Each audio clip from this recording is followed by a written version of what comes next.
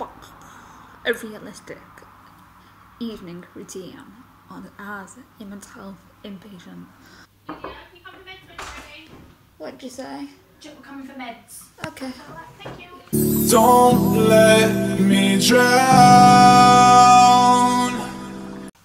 As I was saying. Anyway, realistic night routine. That's what we was doing. That would be enough to get all my makeup off.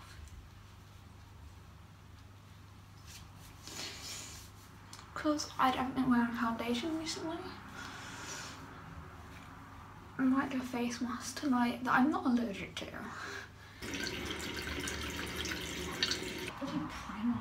The fruit exfoliating mask.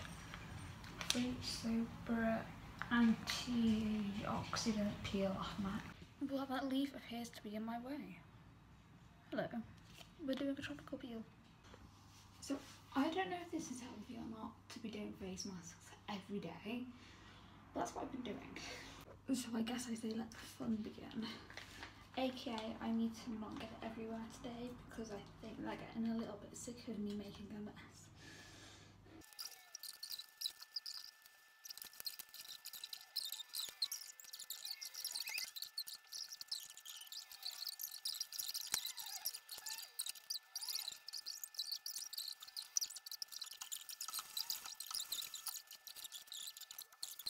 Literally got out the bathroom and then realised that I'd left it on my chest. Like, what was I thinking? You to know another issue of being an inpatient when you do face masks?